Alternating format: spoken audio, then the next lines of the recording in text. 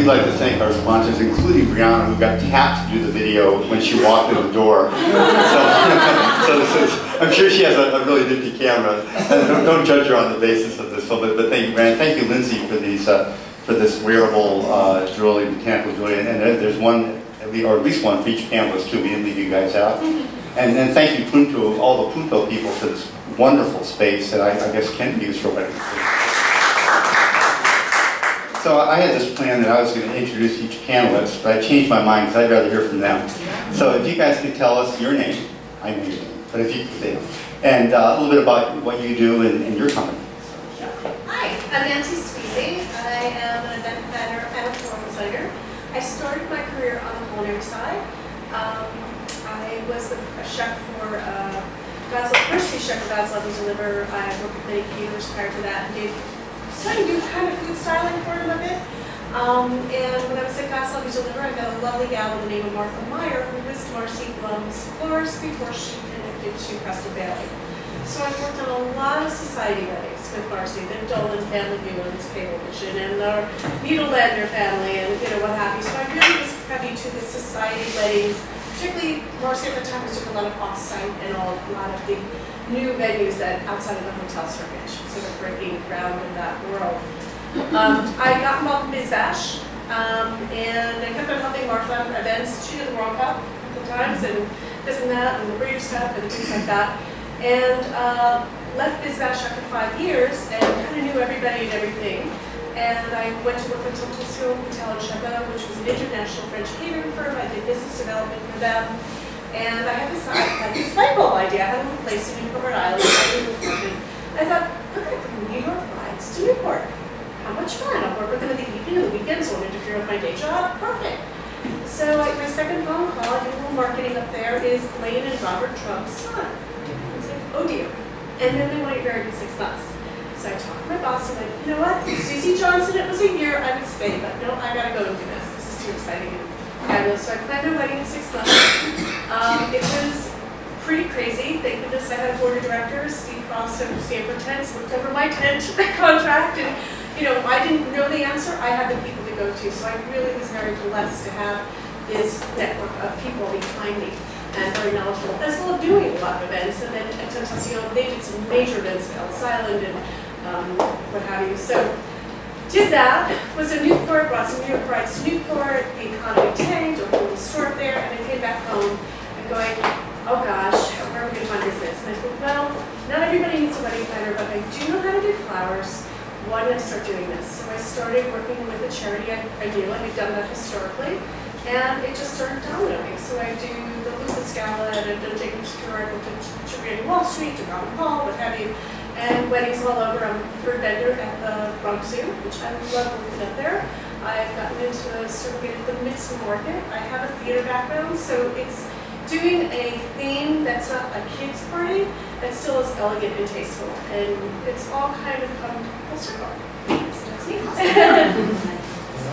I'll use the mic because it's, it's fun. Feel free if you guys. Okay, so let's start the questions. Uh, what I'd like you to do is in three or four sentences, or even just in three or four words, kind of describe uh, your approach to wedding planning in, in just a short, like three or four sentences, even just three or four words. And I think we'll start on that end because it's fun to put me on the spot.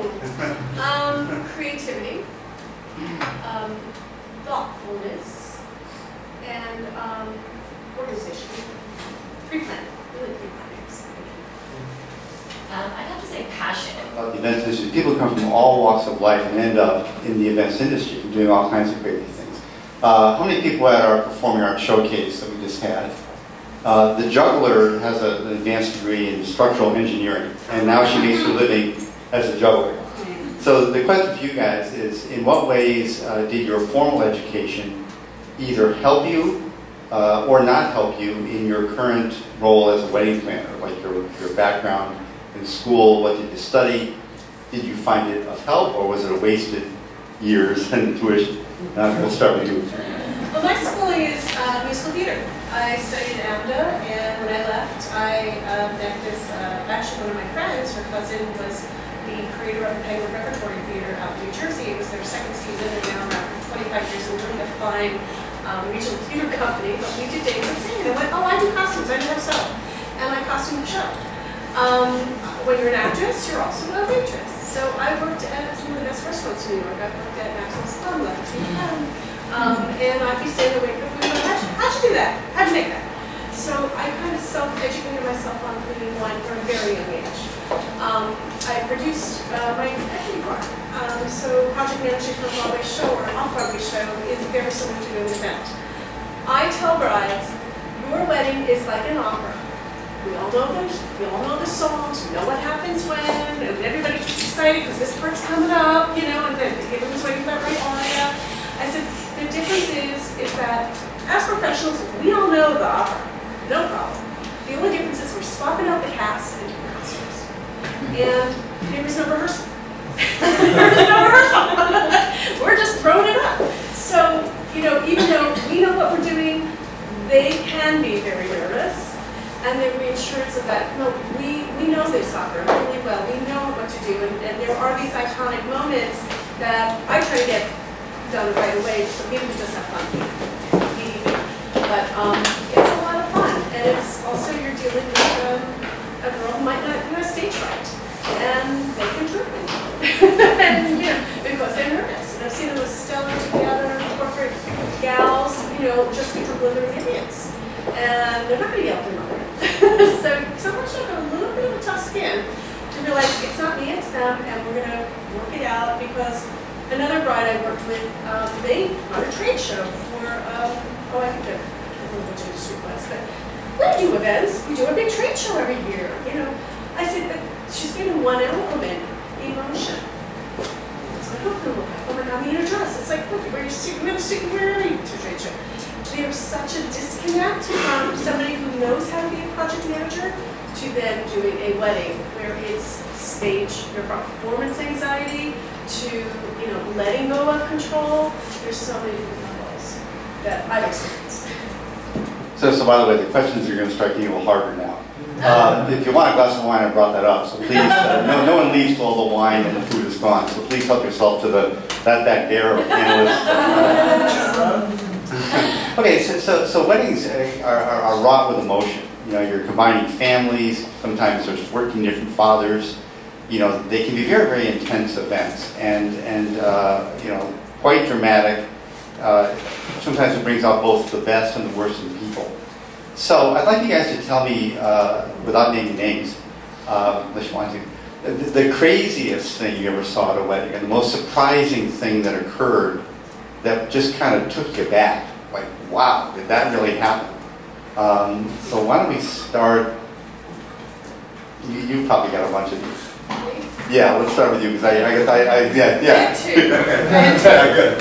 Um, this was my second really big wedding up at Newport Island. Uh, um, really done wedding. I took her down to New York. We met Mark, Mark Wilson. We met, you know, uh, Breakfast Deli, but all the top designers. They ended up at Libby. Um, we met Sylvia, Whirlwind. Whirlwind picked three major venues in Newport. Everything's doing great. She was slated for, it's um, Say Yes to the Dress. She was slated for Clapham Weddings. Um, everything was going perfect. It was my second big event or fourth big event of Newport. And uh, six months before the wedding, the money's gone. Like, Daddy, like, and she's like, where's the money? Well, Daddy's, um, he, he fixes MRI machines you know, so I guess it's different than doing fixing a, a refrigeration system in a restaurant, so I guess it makes a lot of money. But who is he getting advice and counsel from? The other doctors.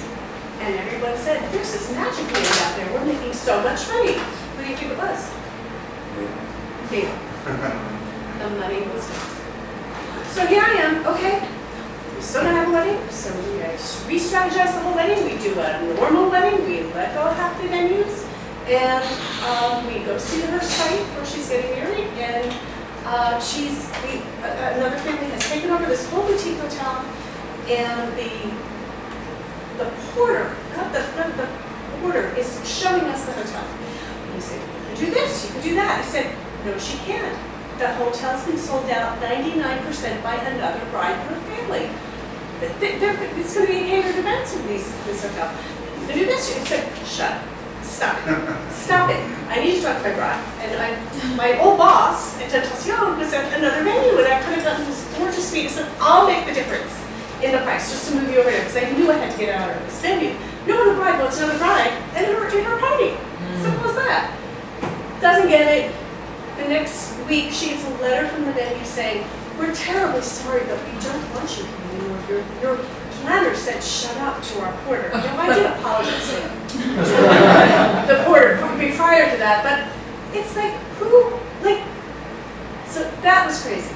And she fired me. She fired me because she didn't have any money left. you know, simple as that. She had the wedding that, that weekend. The other was um, a fellow got into a fight. The mother was very volatile, and um, he ended up in jail. Oh, I didn't know Saturday he was going to make it out, and he's a professional. It was just a really kind of weird scenario, and the mother's been crazy, it's totally crazy, and so we're sitting there going, is the wedding going to go on? Now, I had suggested that this couple do uh, for, for, for Brides, you know, the TV show. I will never in my life ever suggest any family to do a television show. Oh, agreed. Because that would ruin, would ruin both of their, all their careers. So, those are the two worst things that happened to me. And mind you, I've seen brides turn on Marcy Blum, I've seen, it, it happens. It's not, that it's not just me, it can happen. It can so, our industry. so the waiter asked me, what should I do about it? And I said, do not call attention to it. We do not want to, you know, it's, customs or manners are designed to not ever offend anyone. That's what manners are a place for. And I said, do not call attention to it. Let her have whatever she wants. Let her foods go to city farmers or something else anyway. So, but just do not call attention to it. And, you know, protect her from her bad behavior, you know, or odd behavior at least. And, you know, that's how you handle that. You know, they're someone's guest. So one of the challenging things I think about being a wedding planner, and I'm not one, is uh, I'm a wedding vendor. How, how many people here uh, provide services for weddings? Right. So so most of these people are, are do what I do. I, I provide musicians. These guys are planners, and uh, one of the hard things I think and challenging things for wedding planners is if we do a great job, the client thanks us. If we mess up, they blame you. So the, the challenging thing for you guys is, is knowing all these different little industries and all their little quirks and all their little contracts, all these little different ones. Um, so this, this is going to be kind of a lightning round. Um, in my experience, sometimes I've done a great job because of the wedding planner, and sometimes I've done a great job in spite of the wedding planner. Because all wedding planners are not you guys. Um, in the wedding industry in general, there's no minimum requirements. You can just say you're a wedding something, and then you are. There's not.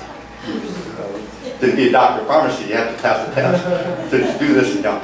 So if someone said to me, okay, as a, as a, as a vendor, the thing that drives you nuts about wedding planners is, I would have four or five things to say. But I'm not going to say them because this isn't about me, it's about the wedding planner. um, so I'm going to say the thing that drives you nuts, the thing you hate about wedding, and then I'm going to put in a, a category, and I want you to tell me the thing that drives you nuts about people in that category. Obviously, not all people in that category, but you've all experienced all those categories. I'm sure you've had various experiences, both positive and negative. So I'm hoping to get to a lot of different categories. So, so we'll try to be pretty quick about this. Uh, and I, I was going to phrase it, the thing you hate about wedding. I thought that was a little strong. But you can use those words if you want to. Okay, all, all set? Okay.